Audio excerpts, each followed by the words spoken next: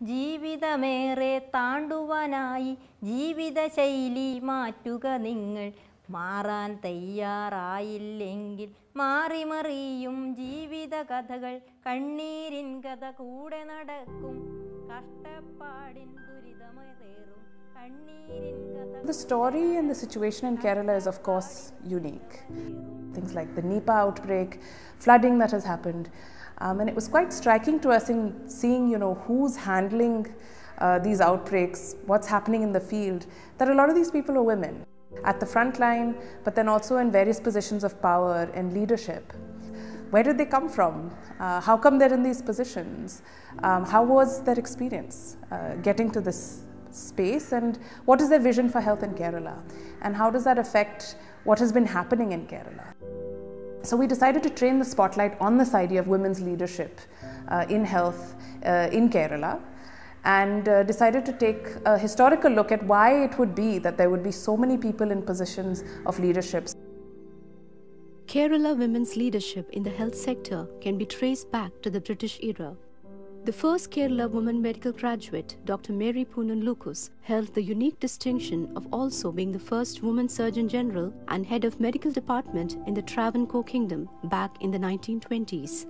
A number of factors around and preceding this time, including Kerala's matrilineal system, European missionary practices, and cultural custom across religious groups, cast education, nursing, and medical professions as respectable vocations for women. Even with these opportunities, there was a stereotyping of women as carers in homes and communities, with constraints surrounding unfeminine behavior they were expected to avoid. Kerala has since had many debates in the spheres of politics, culture, and medicine on the role of women, refreshingly more so than elsewhere in the country.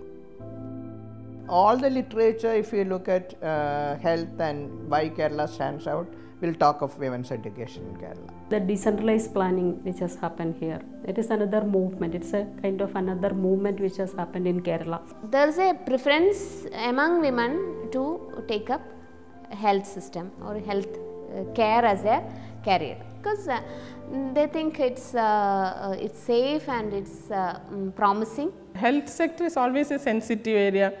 Uh, emergencies are coming, epidemics are there, disasters are there. Uh, they're all in all these areas. Women can take a decision better than men. That is what I feel. I think it's a good thing to be a woman to work as a leader because uh, we are having experiences as a daughter, mother, wife, then as a family member, then as an employee, as a doctor. Everything I can I have a lot of experiences and understanding of every category of all category of people, and then I can implement uh, my programs, think my about planning very in a very good manner than any other persons. സ്ത്രീ എന്ന നിലയിൽ നമ്മൾ കൂടുതൽ കാര്യക്ഷമമായിട്ട് നമുക്ക് ഈ പ്രവർത്തനം ചെയ്യാൻ പറ്റുന്നുണ്ട് സ്ത്രീ എന്ന നിലയിൽ ഒരു വെല്ലുവിളിയായിട്ട് തോന്നിയിട്ടില്ല ചിലപ്പോഴെങ്കിലും ഈ വീട്ടിലെ കാര്യങ്ങളും ഇതുമെല്ലാം ചെയ്യുമ്പോൾ നമുക്ക് ഒരു ഒരു വീട്ടിലെല്ലാം ചെയ്യണം ഇത് ചെയ്യണം ഇപ്പോൾ രാഷ്ട്രീയമായിട്ടും ഈ ഇത്തരം ചില പ്രത്യേക വിഷയങ്ങൾ വരുമ്പോൾ അങ്ങനെ ഉം, സങ്കോ മനസ്സുകൊണ്ട് ചിലപ്പോൾ തോന്നലുണ്ട് So, because I'm, I have worked in the clinical care for a long time, I know the difficulties and the gaps in each system, uh, in the clinical area as well as in the public health system. From my experience, I would say that ground experience of public health and uh, uh, first on information on what is actually happening in the field is very essential and crucial for an administrator.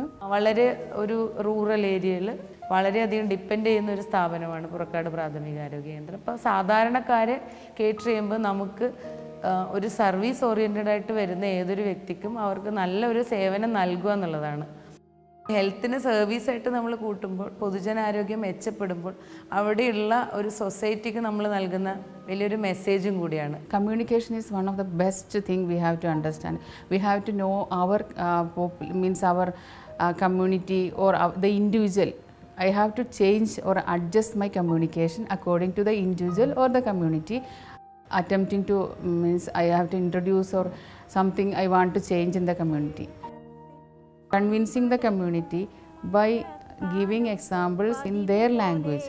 പറയുന്നല്ലോ കൊതുക് നാം തുരത്തിയിടേണം. ഇവിടെയുണ്ടീ കേരളത്തിൽ പനി പടരും മഴക്കാലം. കൊല്ലിമൂല മൈക്കുനിയാണ് ഞാൻ work ചെയ്യുന്നത്.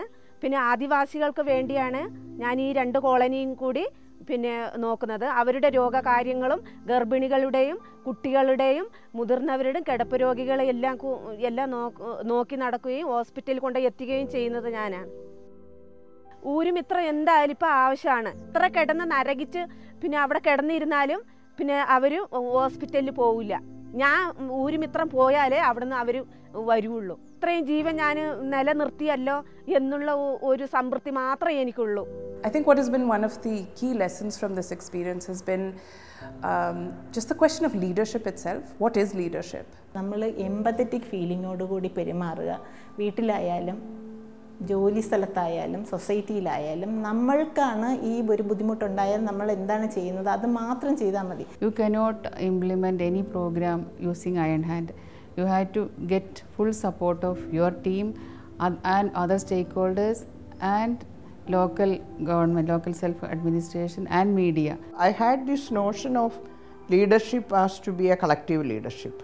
It's not should be and should not be a leadership which is over somebody, power over somebody. It should be power with people. അടിച്ചമർത്തി ജോലി ചെയ്യിപ്പിക്കുകയാണെങ്കിൽ നമുക്ക് ഔട്ട്പുട്ട് കുറവായിരിക്കുമെന്നാണ് ഞാൻ മനസ്സിലാക്കുന്നത് അവരിൽ ഒരാളായിട്ട് അവരോടൊപ്പം കൂടെ ചേർന്ന് നിൽക്കുമ്പോഴത്തേക്കും നമ്മളുടെ ഫീഡ്ബാക്ക് അല്ലെങ്കിൽ ഒരു ഫ്രൂട്ട്ഫുൾ ഔട്ട്പുട്ട് കിട്ടുന്നുണ്ട് The central point here then is that the very nature of power that is exercised as a woman leader is different. So, women leaders in Kerala are actually redefining power itself, which to me is a wonderful thing. Instead of just thinking of one's own career, one's own well being, that we need to become more and more socially and politically aware people and contribute to the society as a whole rather than me and my own family sort of individualism and personalism. I think it is very simple. We are, uh, who are we after all? Understand that connectedness among human beings or the among the people. നമ്മൾ ഓരോരുത്തരും നമുക്ക് വേണ്ടി മാത്രമല്ലാതെ നമുക്ക് ചുറ്റുമുള്ളവർക്ക് വേണ്ടിയിട്ട് കുറച്ച് സമയം ചിലവാക്കിയാൽ ഒരുപാട് പേരുടെ കണ്ണീരൊപ്പാൻ കഴിയും എന്ന് എനിക്ക് നൂറ് ശതമാനം വിശ്വാസമുണ്ട് എന്റെ എക്സ്പീരിയൻസ് വെച്ച്